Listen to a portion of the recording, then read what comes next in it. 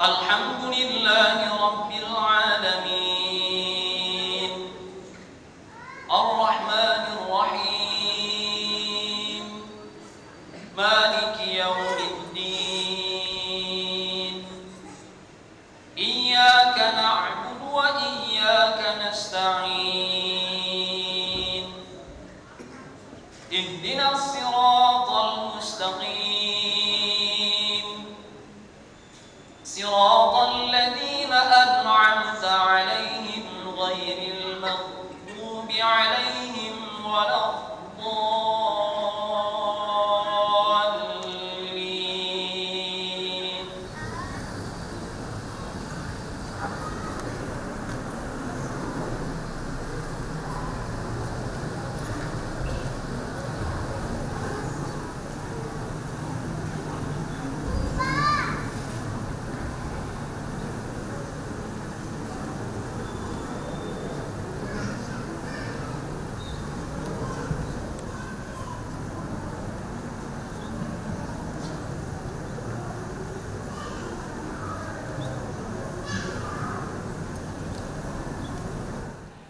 Pertama, al-imamul adil.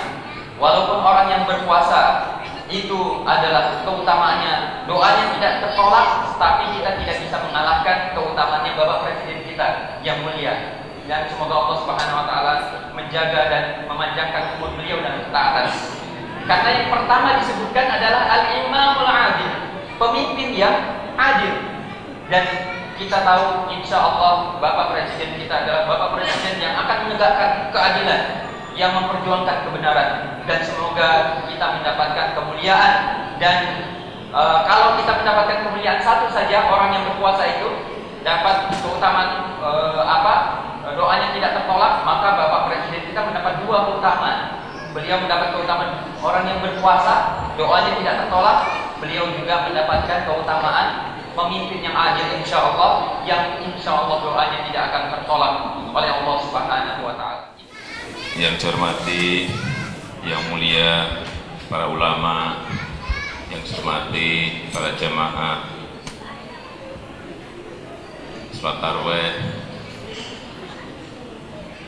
Saya hanya ingin sedikit mengingatkan kepada kita semuanya dalam kehidupan muamalah kita di negara kita yang besar ini Indonesia yang terdiri dari 17.000 pulau ada 714 suku ada 516 kota dan kabupaten dan 34 provinsi serta 1100 lebih bahasa lokal membutuhkan persaudaraan baik ukhuwah Islamiyah di antara kita umat muslim maupun ukhuwah patoniyah di antara kita sebangsa dan setanah air.